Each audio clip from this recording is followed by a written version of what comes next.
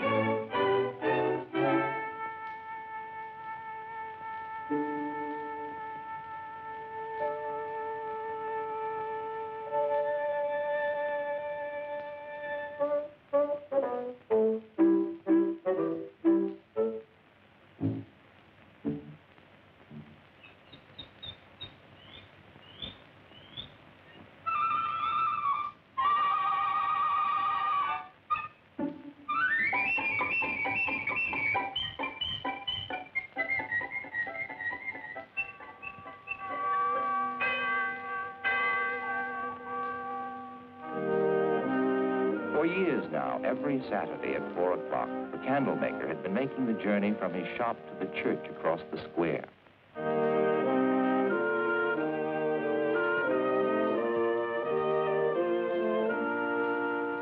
Because God had been so good to him and blessed his home and his work, he showed his gratitude by giving his finest candles to shine upon the altar as an offering to God.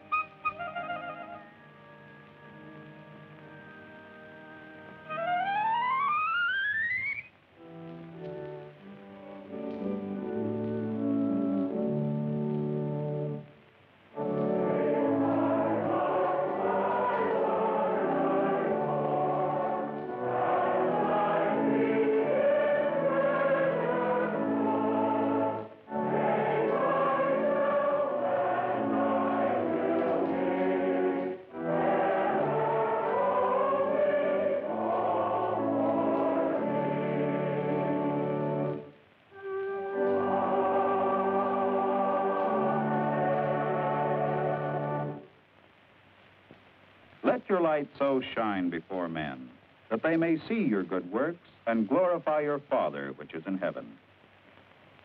Whenever I read these words of Jesus, I think of one of our own people, our friend the candle maker.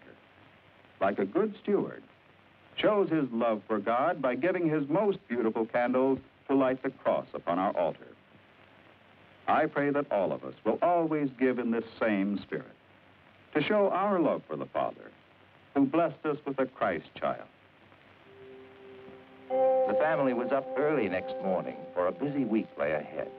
The candlemaker had to deliver quantities of Christmas candles of all shapes and sizes to the outlying farms and villages. Hurry up, son. Coming, Father. Now, now. I'm not going away forever. I'll be back on Christmas Eve in time for service. Look after your mother, son. And there are plenty of candles to be made. Don't worry, Father. Don't forget this week, I'm leaving you to make the second altar candle. I have made only one. And remember, both must be taken over to church by 4 o'clock Saturday. Yes, Father. Goodbye now. Goodbye.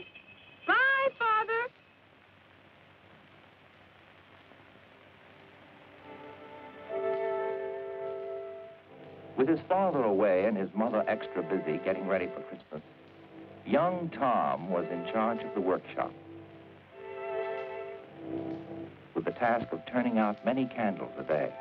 And then there was the altar candle for the Christmas Eve service on Saturday.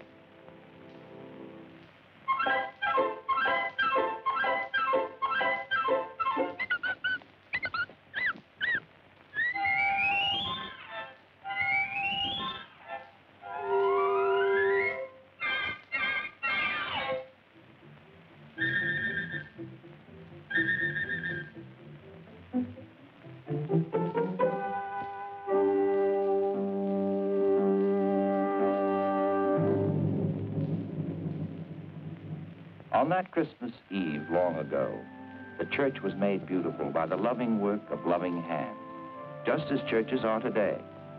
Then, as now, there was a manger where boys and girls would bring the white Christmas offering for the children's home.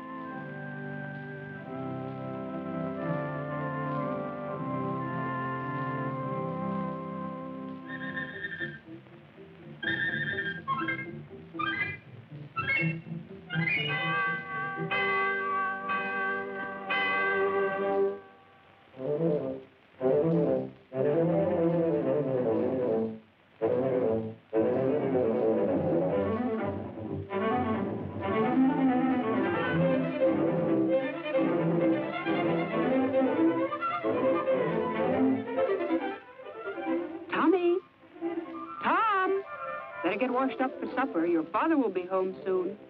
Tommy, you forgot. Run over quickly now. And be careful you don't drop them. I'm sorry I was late for the candles, Pastor. Never mind. You did do it. And just in time, too.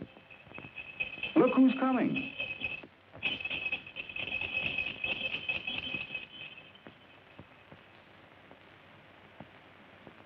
Well, son, did you make the church candle?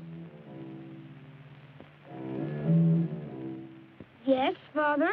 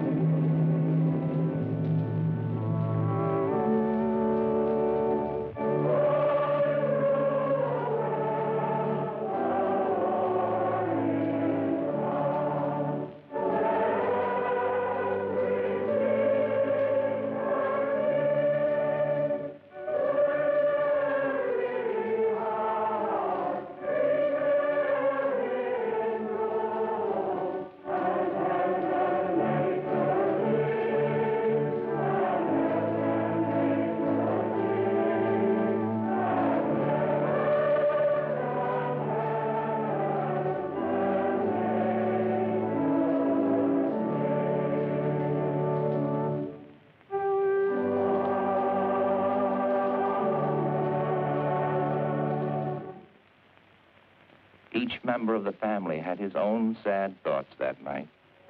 To think that a son of mine should make such a candle, a worthless candle that won't shine, and after all these years. Young Tom knew what his parents were thinking that he had failed them, and that he had failed God.